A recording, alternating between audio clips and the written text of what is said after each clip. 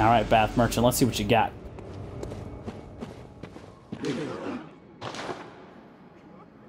Beyond buying your standard normal items, what I want to buy, he doesn't have any weapons, but he does have some decent armor set going on right now.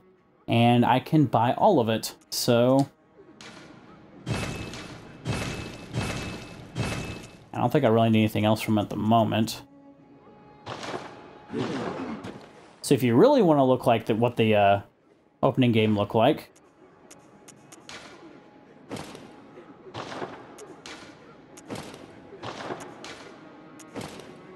instead of Dracula loser. You still see the hair poking through. Let's see a close up of his face like this. His eyes still poke through, which makes it great. Where's the wall? There's the wall. Little derpy eyes just poking through.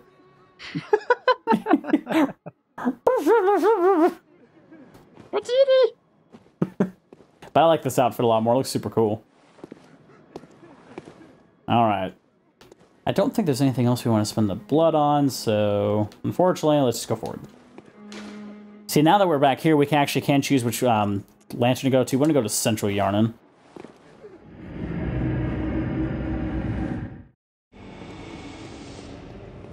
If you notice now that we're back here, the door opened. Oh. So, in here, for one, there's this dude here in a wheelchair. Aha.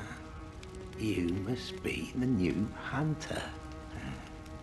Welcome to the hunt. Neil Young, no. It doesn't look a lot like Neil Young. Look at him. For now, I am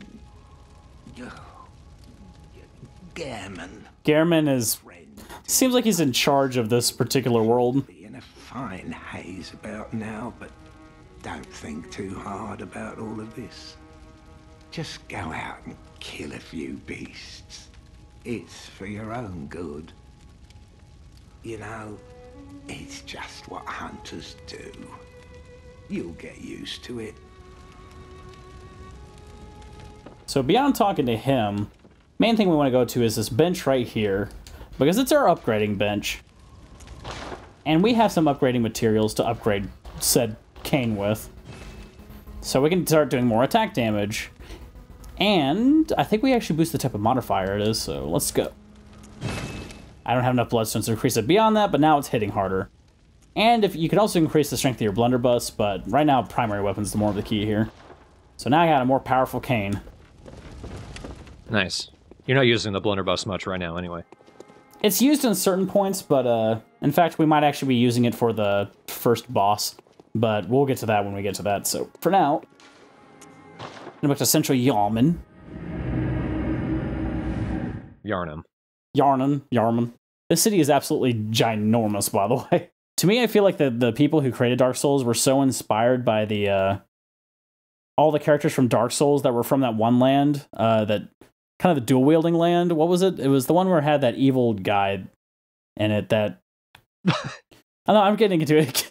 Kill kills That's the specific. kills the the the seer that's at that's at the Firelink Shrine. Lortic, Lotric. Oh, uh, Anor Londo. No, not Anor Londo. Um, it's one of the countries that's that are kind of in the area though. It's where Lautrec's from. I don't think we'd go to where Lautrec is from, but Well, we never go to where he's from, but the people that show up from that where he's from are very. There's a guy like that jester guy who who kind of looks a lot like our character. oh, uh, Carim. Yeah, it looks like this could be very inspired by the the world of Carim. Okay, so now we're on this side. We're gonna be going down this way now, and there's two of these ogres running around. So if you remember, the best way to kill an ogre is, for one, keep a slight distance and get him to swing when he's a little farther away, and then shoot. Usually he has enough stamina to get back up, so just whack him once and he goes down. These guys always seem to drop blood vials too, which is super useful. Come on, buddy. Do you have a particularly big window to shoot him? Uh, with these guys, yes. For a lot, there's a lot of enemies, not so much.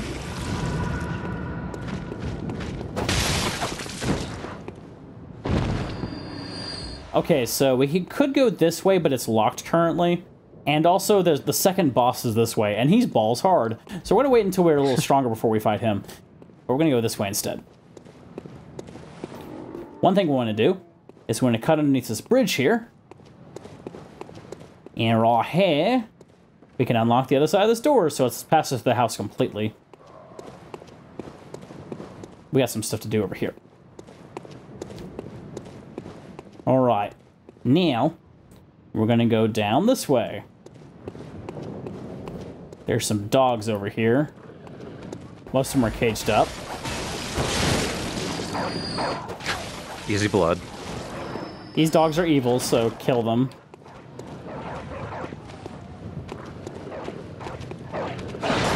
Oh shit, where they come from? There he is. Ah! The guy jumped right out of me.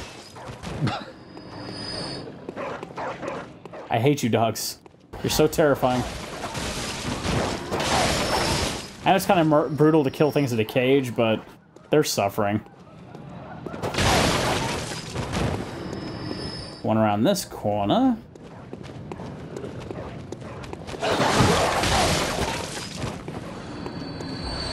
Got some more of those upgrade stones. Perfect.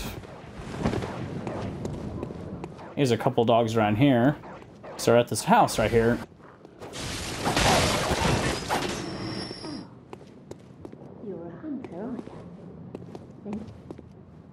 This old lady asks us if we know any safe places. At the moment, we do not. Doesn't mean that will change. We'll come back and talk to her later to take care of that part of it, but we're going to be going on from there. Well, we do know of one, but I don't think she can get there. Oh yeah, she's she's not a hunter, so screw her. This area's got a lot of cool shit in it. First off, just to kind of save some time, go down the stairs a little bit. And there is a man who is a little more transformed. Whoa. He's got a little more HP. This.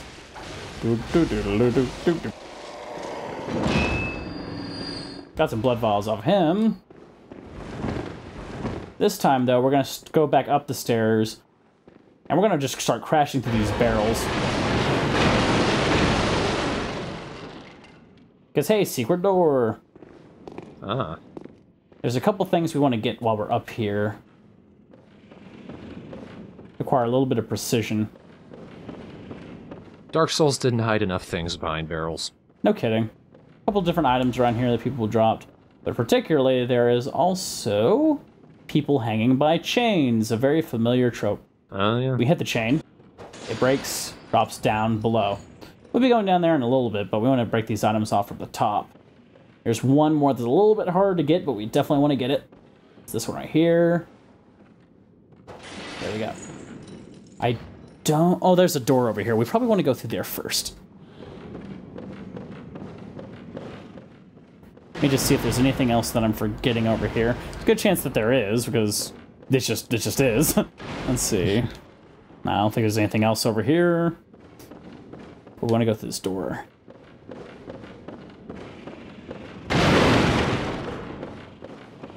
This area is actually a little bit of a safe zone. A little bit. Because once we walk up here, there's an actual human standing here. Let's go talk to her. Her or him. It's a her. A hunter, are you? And an outsider? What a mess you've been caught up in. And tonight of all nights. Here, to welcome the new hunter. She gives me bold hunter's marks. I call these the give up decree. because, like, if you go to an area where you can't escape, you use this, and your character basically transports back to a lantern with all of his with all of his or hers uh, blood echoes. So like if you know you're gonna die, you just use that and you get out of it. And when you do, she uh, your character just face palms. Uh, so it's a homeward bone with a little bit of extra embarrassment. Right. There are no humans left. They're all flesh-hungry beasts now. She reminds me a bit of Lucatiel. Now we need to talk to her one more time Still lingering about. Because she's got one more thing she'd like to give us. What's wrong? A hunter unnerved by a few beasts. no matter. Without fear in our hearts, we're little different from the beasts themselves. He gives us the shake off cape move. So if you've been wondering, are there gestures you can do? Hell yes, there are. Press the motion button. so you can change it. You got at this point we got a couple of them. We'll kind of go through them. This is point forward. This is Hunter Salutation. I like this one. This is just sit down. So you can just sit there and chill. You gotta get back up. Can you control the length of that one? Yeah, you just stay there. If you don't move, he just sits there forever. Nice. I like Joy too, where it's just like, yeah. And then there's just this little bit of conviction, just kind of like, yeah. And there's one more, it's kind of Wave. I love Wave. It's so dorky. Hi! I want friends. We got a new one. I don't really want to use conviction because it just seems so lame. We're just kind of like, eh. So we're going to switch that Yeah. with Hunter's Rally, I think is the one I got. I also got Shakeoff's Cape, too. No, wait, I already have Hunter's Rally. Shakeoff Cape is the one I got. Yeah. So if I get something with a cape, I just flip my cape a little bit. And I don't have a cape, so it doesn't work. But when I do, oh boy. Well, you do shake the trench. Yeah. Okay. Now that we managed to get everything we want to do up top from here, we gotta drop down. And there's a dude right there. Hello. He's got a big stick.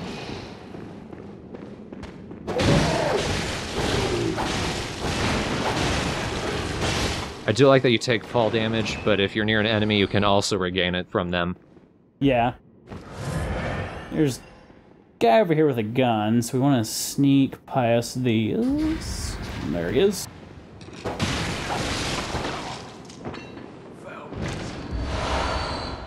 It's good at this point to take care of this part while you're on the upper level, because if you fall way down below, it's kind of a pain in the ass. But there's a lot of good stuff around here. It's definitely worth taking this. This is kind of a side track from where we need to go. But there's a lot of good stuff around here. Cloth physics look better than they were in Dark Souls 2. Oh, they're gorgeous in this game. if you notice, he's dying and I'm still swinging and it's healing me. I do like that too. As long as they haven't ragdolled, you can get health back. Yep. Thank God, because he hit me and I want to gain health back. so back this side, we got this little door here. We want to be careful, because there's two gunmen and there's also one of those beast dude. We want to get the gunman out first, so here we go. Oh shit, I ran face first into one. I saw that. Oh shit, oh shit, I'm dead. It's kind of easy to die in this game. I might be able to avoid that altogether, at least at this point, because I got those items cut down. That's really what I want.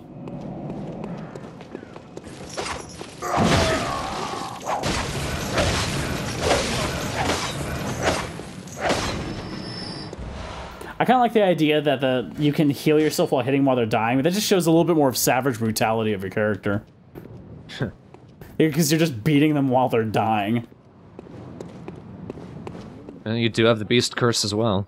Yep, I'm just gonna run through that guy and ignore him completely. Like Ferris Bueller. Boom, boom. Now I've got to fight all those dumb dogs again.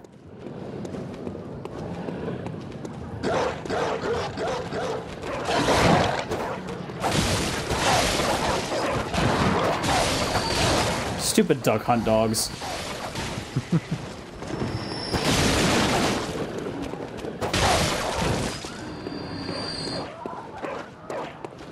They don't seem particularly smart. Ah, they're dogs. So instead, we're gonna go down to the bottom where the sewers are. That's where the items fell. Oh, damn, I didn't know he had that much of a combo. Wow, that surprised me. I did not know he had a four-hit combo. Usually just as a one-hit combo.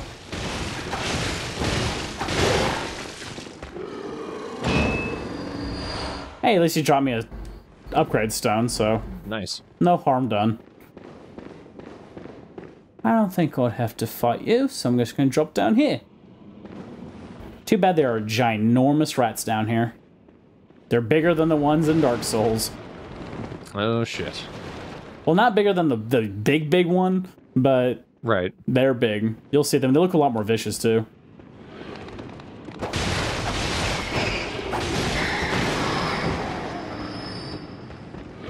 They, they drop throwing knives, though. So one of the items that drop down is a saw spear. That's a weapon. So we want to equip that, actually. So this is my other weapon. It's a cleaver, but also a spear. So it's also got this big stab, too. Let's play around with that a little bit.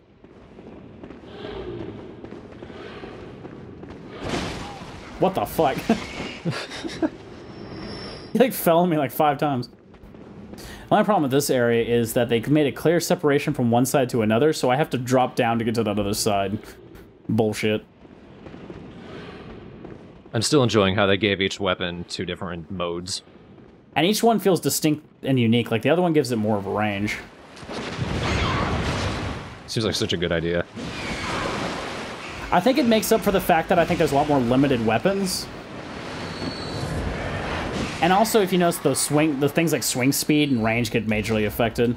Like the spear end is much slower than just the cleaver design. Mm-hmm. All right, we picked up something kind of important. It's called Madman's Knowledge.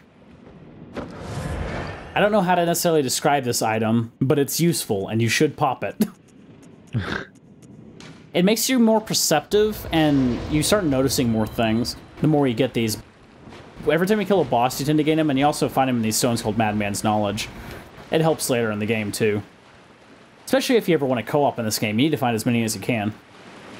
Because they're used as a form of currency for co-op. Hey, you will notice that in the top right corner, now we have a one against that eye. Yep.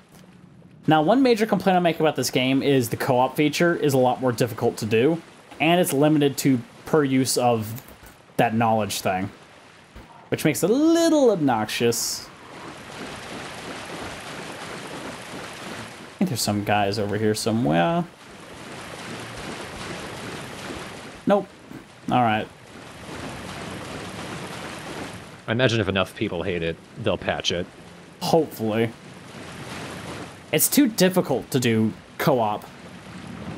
Because, um, like, say if, say if you wanted to co-op with me, you would have to go into your network settings on this game, create a password for your network that's the same as my password for my network, and then you have to find this bell, and I have to find a different bell to summon each other.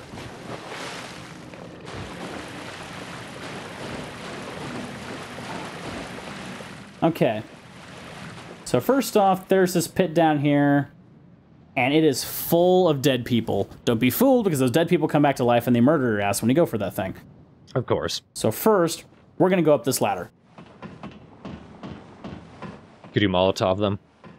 Uh, yeah, but Molotov kind of works interestingly. We're smoking a firebomb that doesn't seem to hit many enemies at once. We first, if we're gonna go down there eventually, but first I want to go up here and do something.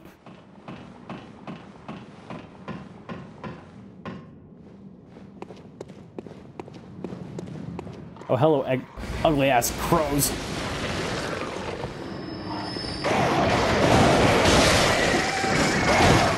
Ah, shit. Fuck you, you crows. They tend to drop pebbles, because crows love them pebbles. Another madman's knowledge. Perfect.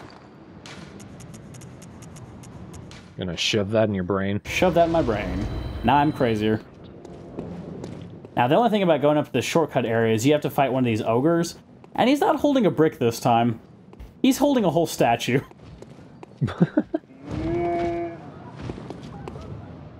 but same thing, you can... Oh, shit! I didn't expect that! I thought he was gonna stall, but apparently he lied.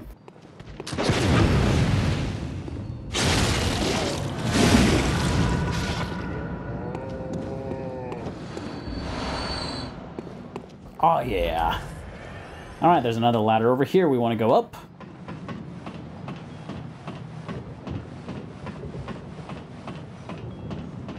And here's the last shortcut gate of this particular area. It is closed by a device. We just gotta pull the lever.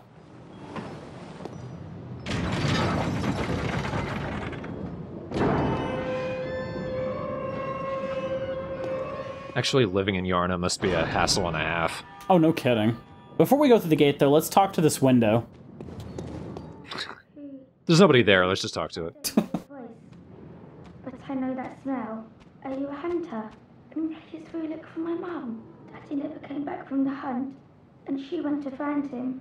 But now she's gone too. I'm all alone and scared. So she, you offer to find the girl's mother, and we're gonna do that. Really? Oh, thank you. My a red jeweled brooch. It's so big and, and beautiful. You won't miss it. Oh, I mustn't forget. If you find my mum, give her this music box. It plays one of Daddy's favourite songs. And when Daddy forgets us, we play it for him so he remembers. Mum's so silly when I'm off without it. That's such a creepy little scene because it establishes a couple different things about the narrative. For one, the character in this window says, I could smell you, that you're a hunter. People don't usually smell people, so that tells me something that she's probably part beast herself. And you actually hear that a number of times from other people, I smell you. So it tells you that I think some of these people in this area are half trans transformed to beast as they are. She also mentions that her father tends to forget who he is, so he's in the midst of transforming himself. And probably the mother is as well. So, like, everybody in this town is cursed to transform into these monsters, which is sad. But this is the reason we open up this gate. It sends us back to the water fountain. That's another little shortcut. But we're going back. So we got some shit to do.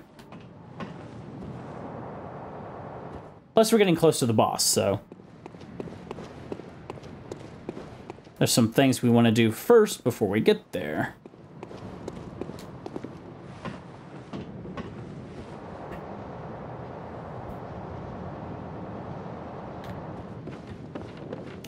There's a couple items down here, so we're going to drop down. I don't think it's worth getting that item, but... Fuck it. It's bullets. And about 10 dudes revive. So we're not fighting that nonsense. Luckily, they're slow. They're these half-zombie dudes. They kind of hit hard.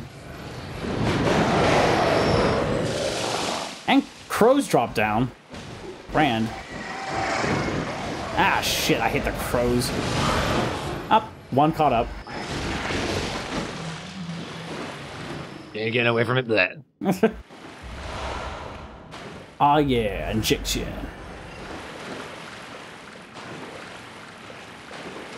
Couple items to look for. And anytime you see just a corpse lying on the ground, kill it.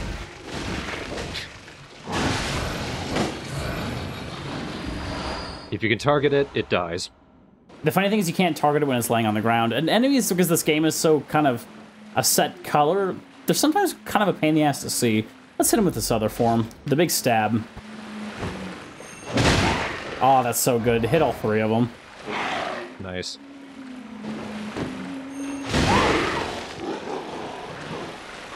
Do you need to let it charge up fully, or can you half charge it? You can just let go as a normal, but it just does way more damage the other way. Also, if you do forward in R2, is his leaping attack. It's no longer triggered to the R1, unfortunately, so if you're used to that, it's kind of a pain in the ass. So, here's the thing. We want something down that hallway, but we do not want to go down that hallway right from this angle. I'll show you why. Oh, uncrows.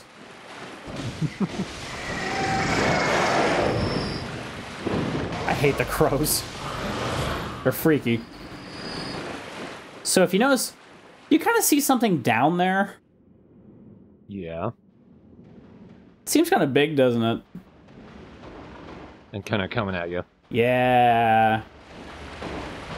It's a one-hit killer, because it charges at you. It is a deformed pig. We're getting the fuck out of here. And it killed me, Grand. Wow. As I was going up there, it's a big ass pig. We're gonna kill that in, in, from another angle. okay, now that I pretty much got, I mean, I'm gonna go back there and get the stuff that is behind him, but um, I think from this point we could probably head directly to the boss. Uh, except the doll is alive. And the doll is alive. And he dropped the, the beckoning bell and the silencing blank. This is the co-op item and the remove co-op item. The beckoning bell kind of works more like a, hey, I'm available for co-oping with anybody, but also tends to attract invaders too, so it's kind of a double-edged sword. Hmm. There's ways to prevent it, but yeah. It's a, a system that has some room to be desired here. You know what? I bet I could level up. I think I have enough of those stones to pop.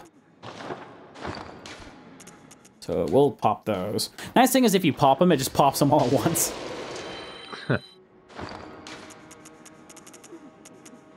oh, so you can see use or use multiples. I don't use multiples. So, shabams. And use that one too. Let's talk to the doll, who's a really tall doll. Hello, good hunter. I am a doll, here in this dream to look after you. I'll actually give this doll a name, but it's known as a doll. Pursue the echoes of blood, and I will channel them into your strength. She has an interesting accent, too. And I will be here for you to embolden your sickly spirit. We're gonna channel blood echoes. Very well. Let the echoes become your strength. Let me. She she levels you in a very awkward way. Shut your eyes. It, she just kind of throws light at your dick. okay, leveling works in the same way as it did before. So, with this character, I think we need more health. The problem, the only problem I find with this game is it seems like you have to level confirm and then level confirm. So I'm gonna get more skill. And I don't think I can level up again here. Well, maybe. Nope. I got two levels, so I managed to make myself stronger and take more hits. There we go. And we can talk to her. You speak with Gehrman. He was a hunter long, long ago. I thought she said, Do you speak German? Now serves only Sprechen Sie to Sprechen Sie murder. Obscure, unseen in the dreaming world. Sprechen de Blood Echo. Still, he stays here, in this dream. Such is his purpose. Farewell, good hunter. May you find your worth in the waking world. Let's compare the stro- weapon strengths here we have going on, just because we've leveled up our skill here. And I think the other weapon gets more boost from strength. That's about even strength to strength to skill. Yeah, the cane does more damage, so we're going to use that.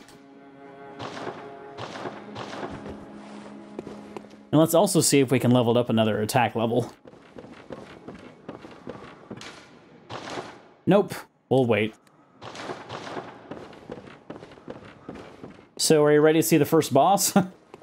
Hell yeah. Let's go see the first boss.